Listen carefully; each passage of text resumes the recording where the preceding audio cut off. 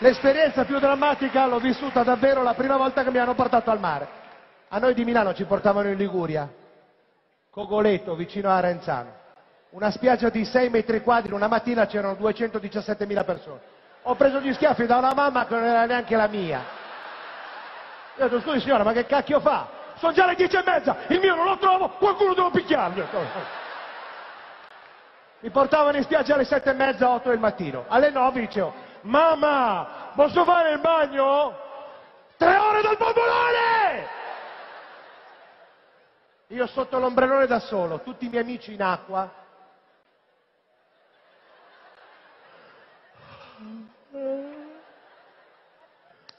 Non posso venire!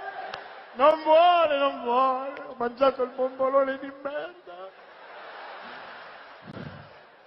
Non lo so cosa succede, mia mamma dice l'acqua con il bombolone esplode il pianeta, non lo so. Tutte le mattine la stessa storia. Domani mangio lo yogurt, vaffanculo che lo... La colpa non è neanche di mia mamma, è di quel panettiere testa di... Tutte le mattine che gli passavo davanti, ciao bel bambino, vuoi il bombolone? E io come un coglione, sì, sì.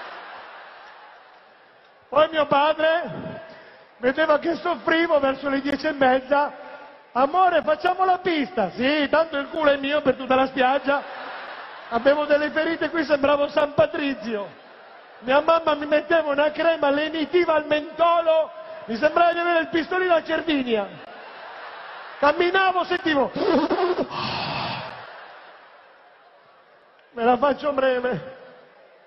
Mancavano cinque minuti a che io potessi fare il bagno. Giocavo sul bagnasciuga col piedino così che scappavo dall'ondina. Da dietro vedevo l'ombra di mia mamma con la banana. Io come un coglione distinto la mangiavo. Ve lo giuro, non ho mai fatto il bagno in vita mia.